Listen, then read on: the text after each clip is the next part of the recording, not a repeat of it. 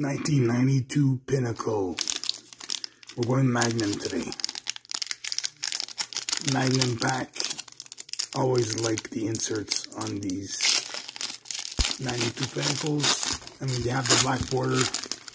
It's hard to get really good condition cards. Not that they're worth much, but still. All right, here we go. We start off with our rookie prospects. We got Cliff Brantley. got Moises Alou, even though that's not his rookie card. I believe 90 would have been his rookie.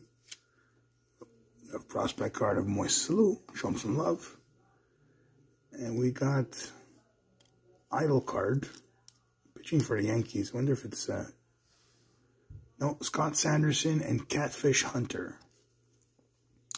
Just for Catfish Hunter, we'll put that card on the stand. We've got a Shades card here. And it's Eric Davis as a Dodger. You have the picture of Eric Davis in the shades, which is pretty cool. Like that one there. Another here biometric card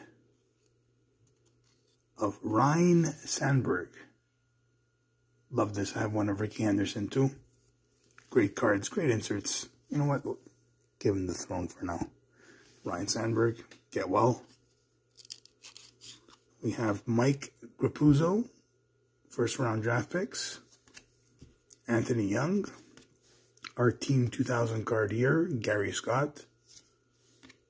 We have Scott Radinsky and Mark Lewis, probably the three worst Team 2000 cards I've ever pulled in a pack. Got Bob Kipper.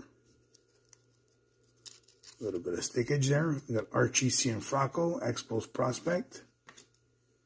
Juan Berenguer. Ricky Jordan.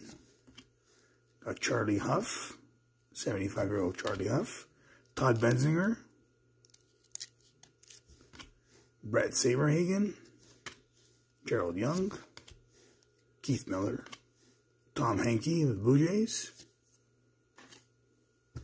Got Tom Brunansky, Boston Red Sox. My buddy Matt Cote would like this card. Got Von Hayes, Craig Grebeck, Luis Rivera, Scott Aldred. Finishing off a flyer here. Hensley Meulens and Kal Daniels. That is it. Super uneventful pack. Love the Ryno though that card for me did the pack. All right, guys, let me know what you think. Thanks for watching.